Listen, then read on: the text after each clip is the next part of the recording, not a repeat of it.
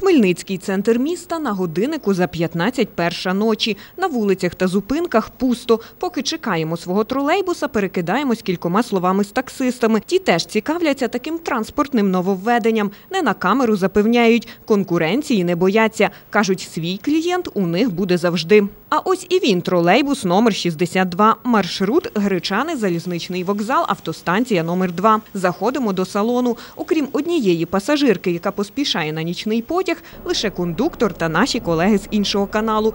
Купуємо квитки. Вони такі ж, як і вдень, лише дорожчі. До слова, пільги на проїзд після 24.00 не діють.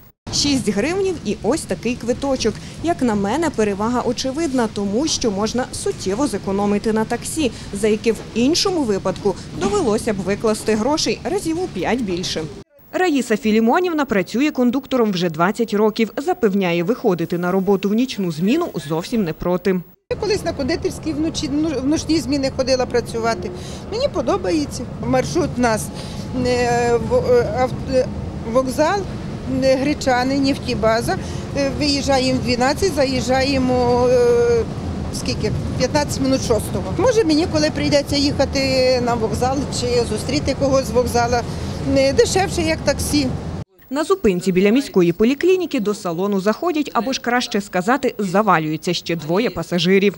Это вы сделали правильно, что вы, короче, пустили троллейбус в, на- в ночное время. Чоловіки добряче на підпитку і платити за проїзд відмовляється на відріз.